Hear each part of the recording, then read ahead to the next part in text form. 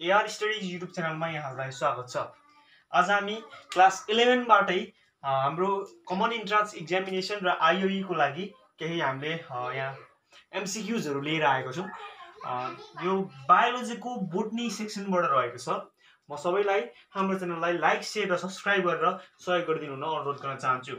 ल हामी फटाफट कुनै पनि ढिला नगरिकन क्वेसन्समा जाउँ In mycorrhizal roots, the association between the fungus and roots of is हामीले माइकोराइजल रुट्स भनेको के हो? त मजाले थाहा छ हामीलाई। माइकोराइजल रुट रुट भनेको tap root system tap root सिस्टमको मोडिफिकेसन हो। तपाईँहरूलाई मजाले थाहा छ यसको बारेमा केही भन्नु पर्दैन। द एसोसिएसन बिट्विन यो रुटमा फङ्गस र रुटहरू बिचको एसोसिएसनलाई के भनिन्छ? जस्तो इन्डोमाइकोर्जिया। इन्डोमाइकोराइजा। इन्डोमाइकोराइजा भनेको हो त अभियसली होइन। किनभने यो भनेको अर्किड्समा हुने अर्किड्समा हुने अर्किड्स भन्ने प्लान्टमा हुने association between fungus and root of plant हो। अब एक्टिनोमोर्फिक भने के हो त? सुरुमा बुझौँ नम्बर टू नम्बर टूलाई एकछिन छोडिदिउँ। एक्टिनोमोर्फिक भनेको एन्जियोस्पमको फ्लावर्सको एउटा क्यारेक्टर हो। The flowers of angiosperm may be actinomorphic or zygomorphic यो त्यही भएर characteristics of flowers in angiosperm हो र लेन्टिकल्स भने के हो त? लेन्टिकल्स हो त अवश्य होइन। किनभने लेन्टिकल्स लेन्टिकल्स भनेको यो मोडिफिकेसन अफ ट्याप रुटकै एउटा न्युमाटो न्युमाटोफोर्स रेस्पिरेटरी रुटमा हुने एउटा सब्सटेन्स हो। त्यसले प्लान्ट्सलाई कार्बन डाइअक्साइड र अक्सिजनको एक्सचेन्ज गर्न मद्दत पुर्याउँछ त्यही भएर लेन्टिकल्स पनि होइन र यसको सही एन्सर एक्टोमाइगोराइजा हो। र हामी के कन्क्लुजनमा आयौँ भने माइगोराइजल प्लान्टमा इक्टोमाइगोर्जिया चाहिँ इक्टोमाइ माइगोर माइ माइगोराइजा चाहिँ association between fungus and roots of प्लान्टलाई भनिन्छ। ल हामी सेकेन्ड नम्बरमा आयौँ। ल हाम्रो यसलाई राइट हानिदिउँ है त फर्स्ट सेकेन्ड फर्स्ट नम्बरको second option is the correct answer ल सेकेन्ड नम्बरमा हामी आयौँ। सेकेन्ड नम्बरमा के छ भने न्युमेटोफोर्स कन्टेन्ट न्युमेटोफोर्स भनेको के हो?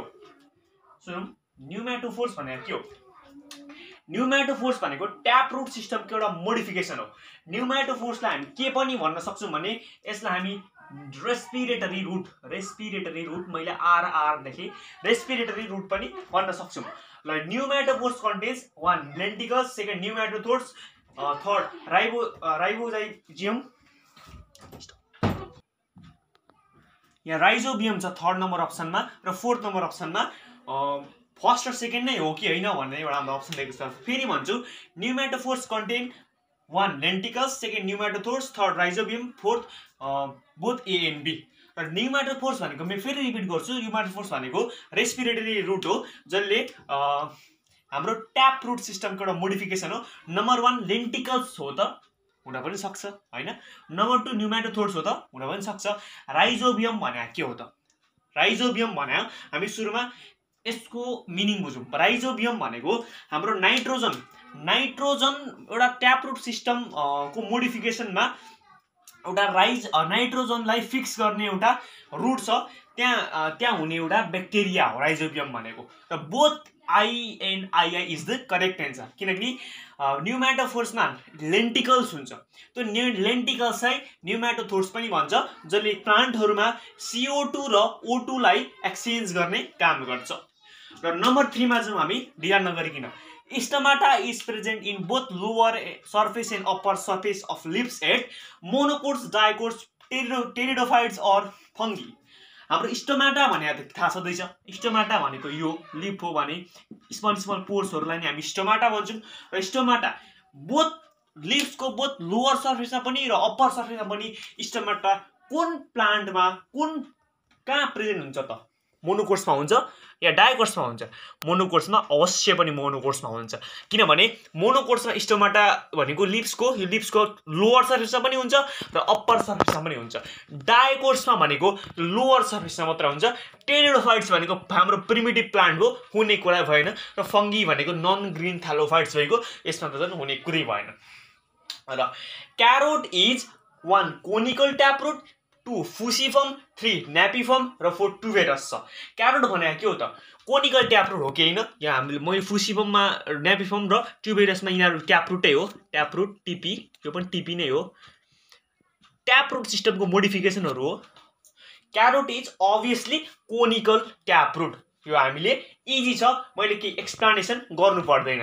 तपाईँहरूले पढ्न सक्नुहुन्छ बुकमा यो एमसिक्युजहरू प्र्याक्टिस गर्नु होला र फाइभ नम्बरमा छ archegonium is present in one number androecium two number gynoecium three नम्बरमा एन्जियोस्पम र फोर नम्बरमा जिम्नोस्पम आर्के आर्केगेनियम भने के हो त? म तपाईँहरूलाई बुझाउँछु। आर्केगेनियम भनेको फिमेल रिप्रोडक्टिभ पार्ट हो। एन्ड्रोसियम भने के हो त? एन्ड्रोसियम भनेको मेल रिप्रोडक्टिभ पार्ट र केनोसियम भनेको फिमेल रिप्रोडक्टिभ पार्ट एन्जियोस्पम भने के हो त? तपाईँहरूलाई थाहा छ जिम्नोस्पम भनेको के हो त? थाहा छँदैछ। एन्जियोस्पम भनेको highest group of highest group of के भन्नुहुन्छ? फेनेरोग्राम्स। फेनेरोग्राम्स भनेको फ्लावरिङ गेम्स फेनेरोग्राम्स जहाँ चाहिँ हाम्रो जाइलम र फोलिम हुन्छ। अभियसली जाइलममा पनि ट्र्याकेट्स हुन्छ बेसल हुन्छ यहाँहरूलाई थाहा छँदैछ। अनि फोलिममा कम्पेनियन सेल फोलिम फाइबर्सहरू हुन्छ। र हामी यही टपिकमा आयौँ। आर्केगेनियम भनेको प्रिमेटिभ प्लान्टमा हुने प्रिमेटिभ प्लान्ट प्रिमेटिभ प्लान्टमा हुने पि प्रिमेटिभ प्लान्टमा हुने फिमेल रिप्रोडक्टिभ सिस्टम हो आर्केगेनियम भनेको। अब प्रिमेटिभ प्लान्टमा आर्केगेनियम फिमेल रिप्रोडक्टिभ सिस्टम हुन्छ भने मेल रिप्रोडक्टिभ सिस्टम के हुन्छ भनेर तपाईँहरूलाई जिज्ञासा लाग्न सक्छ।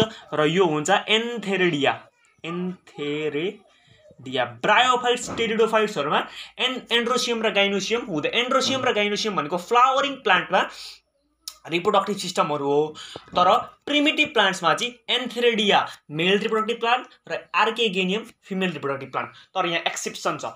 एन्जेस्पममा चाहिँ गाइनोस्पम एन्जेस्पममा चाहिँ सरी एन्जेस्पममा चाहिँ gym gynoecium female reproductive plant हुनुपर्नेमा आर्केगेनियम फिमेल रिप्रोडक्टिभ प्लान्ट हुन्छ। त्यसैले आर्केगेनियम चाहिँ हाम्रो एन्जेस्पममा प्रेजेन्ट हुन्छ।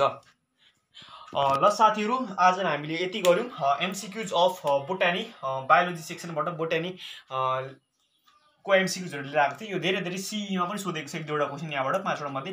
र आइओईमा पनि। आइओईमा त अवश्य पनि सोध्दैन तर मैले यहाँ लेखेको छु। बायोलोजीको क्वेसनहरू आइओईमा सोध्दैन। मैले यहाँ किन लेखेको भने हामी फिजिक्सको क्वेसनहरू पनि आइओईमा हाल्नको लागि ल्याउनेछौँ। आइओईको लागि ल्याउनेछौँ।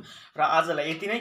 यहाँबाट केही सिक्नुहुन्छ होला भन्ने मैले आशा रहेको छु। र हेभ अ गुड डे है। Bye bye. Take care.